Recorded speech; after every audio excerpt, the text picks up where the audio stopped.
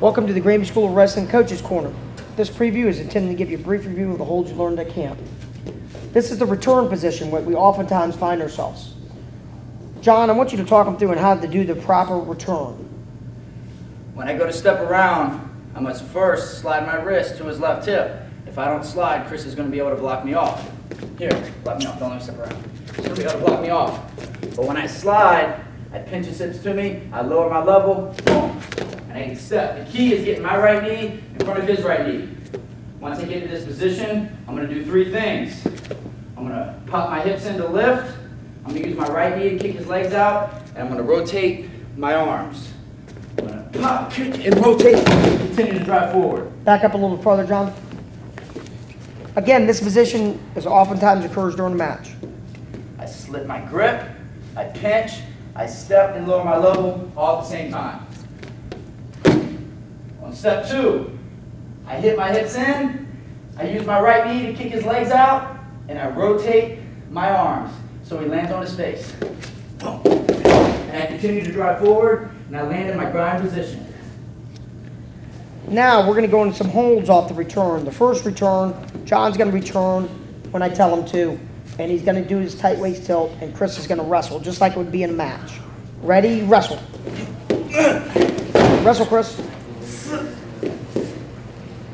When his hips come up, I sink my tight waist in, shoulder deep. I can almost grab his spine, and then I can cheap tilt. Again, here's what it would look like quickly. In a match. Back up, Chris. And block him off, Chris. Block him off. Ready, go. Wrestle, Chris. Again. This time, John goes to return him, and he can't lift him, but he doubles him off. Chris has hand control. Chris has hand control. He's got a post. John steps around. He gets the angle. Now, John is going to be doubling off at the knee with his right hand. And Chris cuts, and John doubles off. Boom. Now, right here, notice how John turn around that angle so they can see what you're doing with your legs.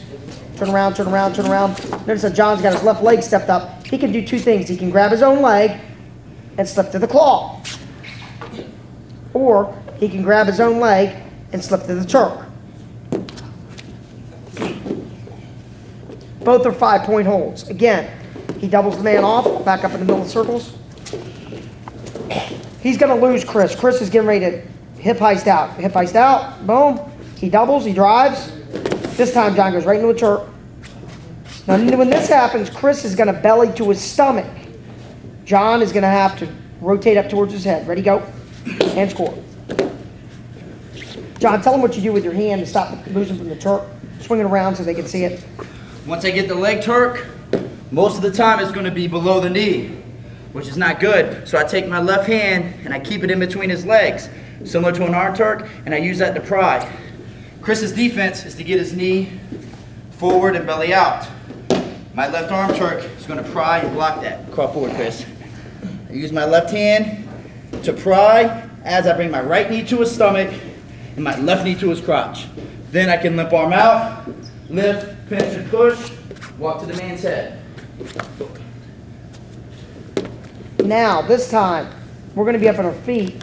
The more conventional Turk would be Chris starts on his on, on, on his referee's position on his knees. Get on your knees. John can do a couple ways of Turk. He, he can go claw Turk. Ready, go. Stand up, claw and Turk. Or John can go ankle post and Turk. He can get on the ankle when Chris posts it. Post the ankle. Post the ankle, Chris. John follows right up the butt. And go. So you can also Turk from referee's position. One more time apiece. Claw Turk. And go. Ankle Turk.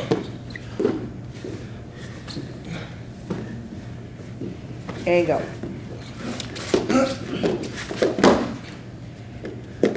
Granby School of Wrestling returns.